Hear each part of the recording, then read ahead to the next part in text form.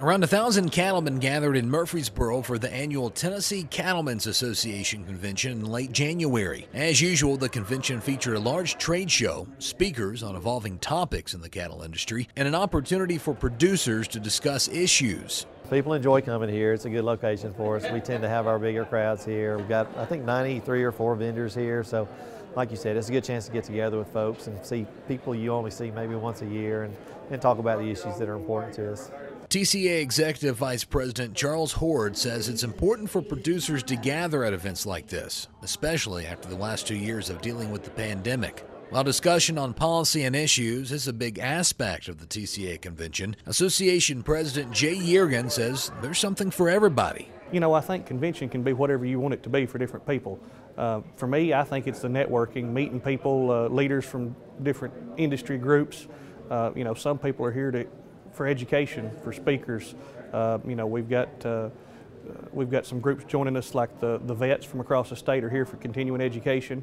Uh, there's a lot of things go on at our convention, and some people are here uh, basically shopping. You know, they're looking at, at, at items in our trade show, uh, equipment they're looking to purchase for their farm uh, seeing demonstrations. So I think our convention could be whatever you want it to be. That's one nice thing about, about the cattle. There's lots of different ways you can be involved in the industry and do something completely different than your neighbor. And uh, we're glad to have, have, have all those people join us at convention and, and see what all there is to offer. Several key figures in the agriculture industry were given awards, including outgoing Deputy Tennessee Agriculture Commissioner Tom Womack, who's retiring after serving in the department for 35 years. That was uh, especially uh, meaningful coming from Jay Yeargin, somebody has been a leader leader in the Farm Bureau for a long time and a great producer, somebody I admire and respect. And I've had the chance to work with some great people, great leaders. I, I mentioned them in uh, in the banquet, uh, Lafayette Williams and Gary Daniel and Jennifer Houston and Emmett Rawls and Jim Neal and all those folks that have been so instrumental to this organization and this industry. I've tried to learn from each and every one of them. Some of the hot topics discussed at this year's convention was the cattle marketing and pricing issues and the ongoing supply chain and inflation issues facing farmers. And producers had the chance to share those concerns with lawmakers, as U.S. Congressman Scott DesJarlais and Tennessee U.S. Senators Marsha Blackburn and Bill Hagerty spoke at the convention. It's just a great group of guys, and uh, we've had a good relationship. I, as you know, have been on the Ag Committee going into my 12th year now.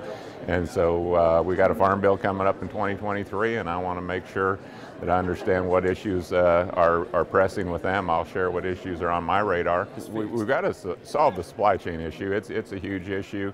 You know, we, we've got maybe some issues with the uh, packers, but people go to the store and, you know, they're buying $6 hamburger and $30 filet, and they're thinking, wow, the, the cattlemen must be making a killing. But we know that those prices have stayed the same. In fact, COVID really uh, created a, a, a problem for them.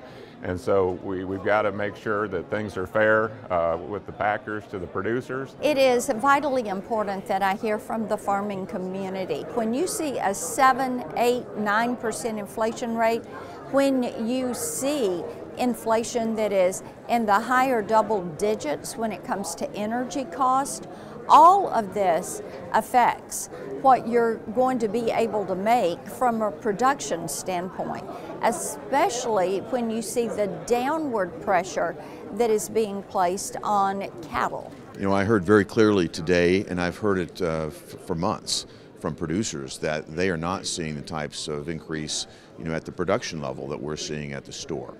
Uh, the inflation that's creeping through the system has been massive. The dislocations have been a real problem but we're looking hard at what's causing this.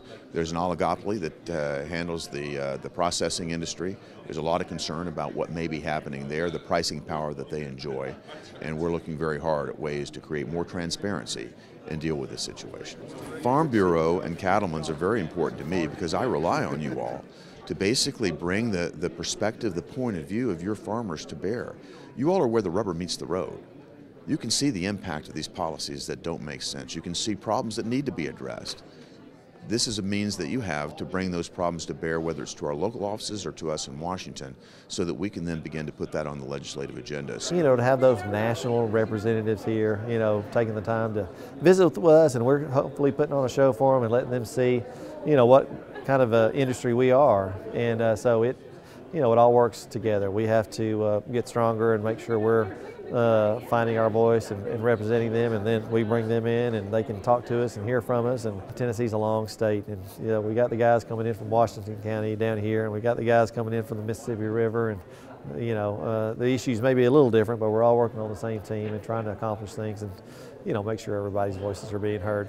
Yeargin says all parts of the TCA convention are important in bringing unity to the cattle industry and making it stronger. It doesn't matter what you're doing in life, you want to be better at what you do.